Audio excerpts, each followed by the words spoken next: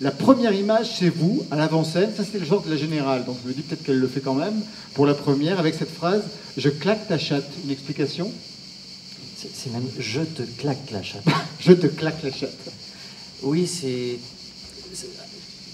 Bon, c'est déjà une chose assez simple, c'est que lorsque je commence à penser à Saison sèche, euh, il y a un, plus de trois ans, c'est à la suite d'avoir écrit euh, Belle d'hier, où j'avais demandé à, cinq femmes de, faire la dernière lessive et de ranger l'humanité. j'avais commencé à écrire finalement, moi en tant que femme, ce qu'on me disait dans la rue, les mots qu'on me collait. Tu vois, ah, j'aimerais bien te, j'aimerais bien coucher avec toi, t'es toute seule, machin. Et puis je notais à chaque fois l'endroit, euh, une sorte de portrait un peu rapide de la personne.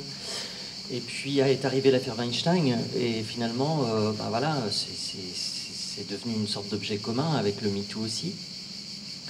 Et je me suis dit, malgré tout, Saison sèche qui allait être euh, cette demande que je faisais à cette femme de détruire la maison du patriarche, il, fallait aussi attaquer par une sorte de de souvenir de cet endroit, puisque à la base je pensais euh, utiliser toutes ces phrases, et de garder celle qui serait la plus symbolique. Et j'ai trouvé que celle-ci était très symbolique, euh, parce qu'elle résume finalement toutes les saloperies qu'on peut dire aux femmes.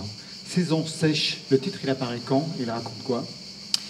Euh, Saison sèche, il, apparaît justement à l'époque de Bête d'hier, où j'avais pensé, et c'est une partie que j'ai sortie de la pièce et qui finalement raconte est la base de, ce c'était de dire j'avais laissé cinq femmes euh, dans une sorte de latence. Elles attendaient et puis à un moment il y avait une musique qui arrivait, il fallait qu'elles aillent danser. Mais elles dansaient sans joie, elles dansaient une ronde d'enfants mais sans joie. Et à chaque fois que la ronde la musique s'arrêtait, elles s'arrêtaient et, elles attendaient comme si on allait les choisir, comme si finalement on maintenait les femmes dans un état de genre bon on va attendre le prince charmant puisque c'était la question de détruire le prince charmant. Euh, donc je suis arrivé à cette notion à un moment de dire euh, saison sèche aussi c'est une vraie période d'aridité et c'était aussi presque pour moi l'image de dire euh, bah voilà c'est une période sans amour. Sur scène, sur scène plusieurs rituels avec des armes, peinture, masques, travestissement. Quel est ce combat qu'il faut mener? Quelle idée du masculin vous combattez cette fois? Parce que c'était déjà le cas, mais plutôt de l'ordre du fantasme avec le prince charmant dans la précédente. Quelle idée du masculin fallait-il combattre, vous qui, on sait, euh, êtes né dans un corps, dans un corps d'homme c'est plutôt, euh, et je pense que bah voilà, c'est quand même le thème du festival. C'est l'assignation. Euh, je pense que le thème c'est pas le genre, le thème c'est l'assignation. C'est comment nous sommes assignés. Donc ça veut dire que lorsque je travaille avec des objets euh, où je demande aux femmes, à ces sept femmes, de se réapproprier leur corps pour arriver à une forme de neutralité et basculer au bout d'un moment dans le travestissement, mais aussi dans, une, dans un acte qui est finalement, ok, c'est une enveloppe, mais cette enveloppe nous définit. Ce que je vais dire, c'est un exemple très simple. Si ici je prends ne serait-ce que les lunettes, les lunettes sont genrées.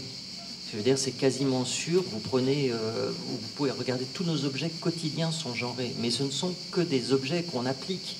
On ferait un petit échange comme ça et vous verriez le trouble.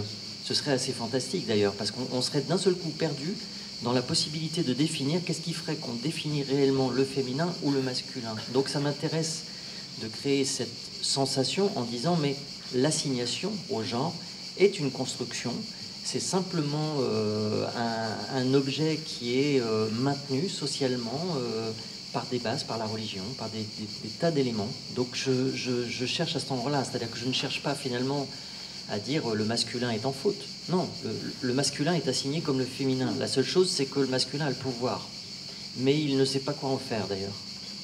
L'objet contre lequel je me bats, et surtout, c'est de dire, mais je suis passé d'un corps à l'autre. Je suis donc devenue une traductrice et je peux vous dire ce que j'ai vu des hommes et je vous dis ce que je découvre des femmes. Je, parle une espèce de langue où je peux être intermédiaire et que je vois que tout ça c'est une construction absurde, que je n'ai pas changé mentalement, je n'ai pas, euh, voilà, c'est simplement j'ai continué à évoluer et je peux vous dire que euh, les rues que je fréquentais la nuit avant euh, en étant invisible ne sont plus invisibles pour moi. Je ne peux plus les fréquenter de la même manière qu'en effet, j'ai toutes les chances qu'on me dise je te claque la chatte. Euh, et en même temps, ça ne fait que continuer pour moi à dire ok, le théâtre que je dois pratiquer doit être sans arrêt des pavés que je vais mettre à cet endroit. des murs qui suintent donc de la mélasse. En tout cas, nous, ce que l'on voit, c'est un liquide noir euh, visqueux.